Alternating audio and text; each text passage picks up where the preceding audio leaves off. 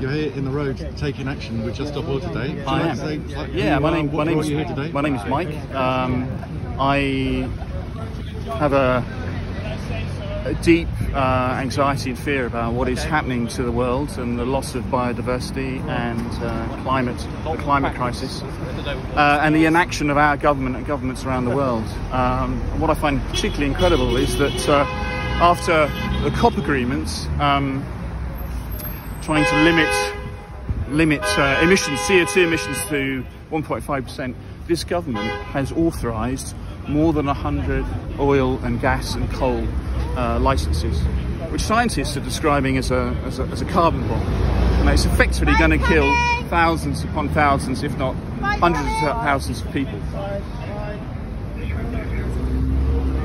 Parliament needs to step up, leaders need to step up, industry needs to step up, needs to stop greenwashing, needs to be honest, tell the truth, and take genuine action and, and genuine leadership.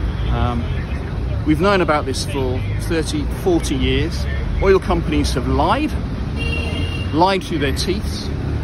Uh, we need to wake up and recognise what is happening. It's already going on in uh, the global south, in India, in Pakistan. We saw a third of Pakistan flooded.